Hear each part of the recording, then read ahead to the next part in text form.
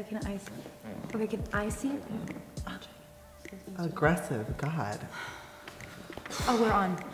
Oh, hi guys. Uh, so I'm here today with my good friend Ariel and also my makeup artist, and uh, we did a very fun. It's time for me to talk now. Okay. So we created this really pretty festival look today for you guys, Mm-hmm. and we're just really excited to show you what we did. Mhm. Well, what do you want to call this look? We're gonna call it the Unicorn Barbie. Festival look. We think that this festival season is all about fun hair, fun makeup, and yeah, I mean just experimenting with things you may not normally do on a regular basis. Definitely. So that is what these two videos are gonna be all about. We will first be showing you how to achieve this look, and then we'll be showing you how to achieve this look. So thank you guys, and stay, Stay tuned. Stay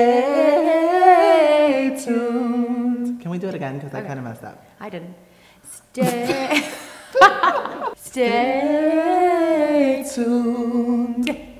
I'm gonna be taking a transition color from the Kylie Royal Peach palette. You always want to start off with something that helps all your other colors transition. And it's so harsh when you just have one color going throughout your lid. From the same Kylie Royal Peach palette, I'm gonna go in with Sorbet. It's the soft peachy color. I think I'm gonna do a transition of peachy pinks on her lid and then like a pop of color at the bottom. So Ariel and I have been working for a while now, I want to say. But Ariel is also a really good singer, so whenever we get together, I like to, you know, join our voices.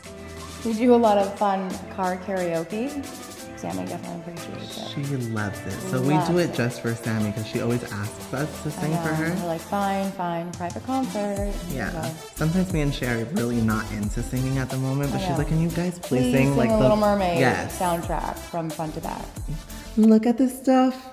Isn't it neat? Wouldn't you think My my? collection's complete. Wouldn't you think I'm a girl? A girl who has Everything. That was pretty good though. I felt like we were No, really that was on right? really good, Yeah. Shay. I told you already. I think you have like really good vocals. you could you. totally be like the next Beyonce. So I'm just gonna take a flat shader brush. This might have a little bit of fallout, but you just wanna press it onto the lid to prevent that.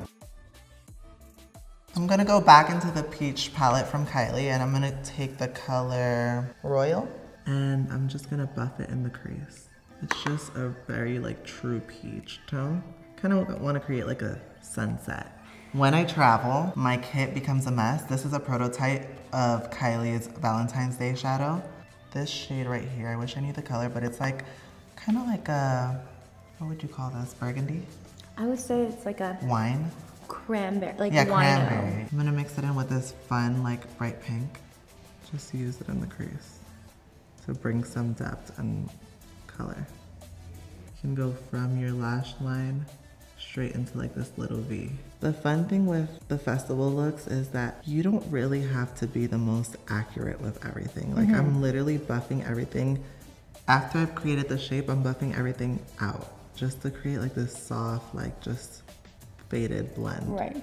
So I'm gonna be using this La Mer foundation. I've dropped the pump on the back of my hand with the Beauty Blender. I just really like how the foundation itself wears on the skin. There's something very luminous about it and just like healthy. The skin looks very hydrated. So I like using something like this. I'm gonna use this illuminator from Iconic London and then I'm gonna take the Beauty Blender and just tap right over it just so that it's strategically right at the top of the cheekbone.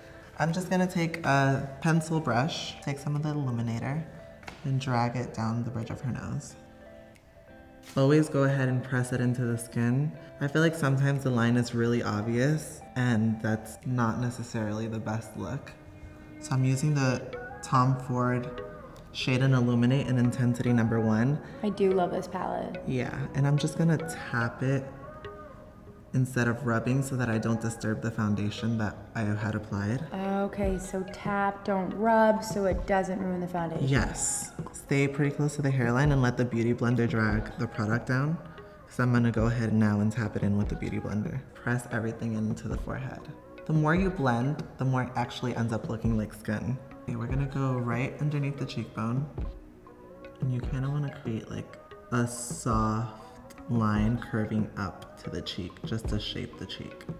I bring it right around the hairline, not going too far in. I'm gonna go ahead and tap it in with the Beauty Blender. I'm just using the Narcissus Concealer in the color Ginger under her eyes. At home, you're more than welcome to use your fingers. I feel like it warms up the product a little more. Your skin has this warmth that kind of breaks down the product and helps it blend better. Right in the center of the forehead, I'm gonna apply some concealer. And then I always take like a deep breath before I do this because this is the scary part, the bridge of the nose. So I'm gonna go ahead and tap that in. Remember we had brought so much darkness down onto the face. Now this is kind of bringing some symmetry and balance. And then take the small beauty blender with some powder on it, press it in. Um, the key to locking in makeup is just having like a light pressure, the powder to make sure you lock it all in. So I'm gonna be using the brush Samey Beauty and the number 5.1. Just make sure that you have a thin layer of powder so that when I'm putting like powdered bronzer on or like Right. the highlighter and all of that, like you want it to kind of just glide versus getting blotchy. The key is having a very, very fluffy brush so that you're not disturbing the foundation. Okay, so I'm gonna be taking this little wedge sponge. I like pink, clearly. It's just pale yellow from Bobbi Brown and lightly layering this like line underneath her cheek to reverse contour her. And just lightly press this translucent powder there. Let it set for a minute. At the chin, you're gonna go ahead and just set lightly there as well. I'm gonna go in with the under eye. So it's called Mochi from Sugarpill Cosmetics. I'm gonna use a small synthetic tapered brush from Morphe. Focus this at the very root of the lash line and build this color. So I'm gonna start off with a light layer. And this is fun, like this is where like all the colors start coming in together. And they work mm-hmm. so well too, because it's very like cotton candy. So I feel like the warmth in her skin allows me to play really well with like blues. I'm gonna go ahead and take from the Royal Peach palette this deep blue and just tight line very close to the eye. Every look I do, I kind of create a fade. So we decided that we're just gonna like intensify the eye a little more. I'm using like a purple from a random palette. Any bright purple will do. With a cut crease, you don't wanna close off the eye so you don't like corner it. You just wanna kinda keep it open at the very end of the eye. And I'm using, I know it looks crazy, but it's a lip palette from Anastasia. And it's actually very matte and like pigmented. We're gonna apply some lashes. I'm using Ardell Double Wispies. I'm gonna be using this lip liner from NYX Sugar Glass. And I'm using Laura Mercier Bare Pink.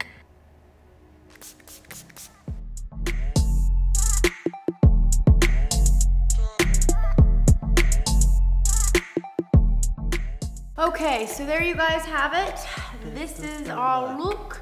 And yes, thank you for watching. Put in the comments below, pretty please, looks that you want to see us recreate in the future. And also, please feel free to share your inspired looks of this on Instagram, tagging both Ariel and I, because we want to see your work. Let us know how you feel about Shay's attitude.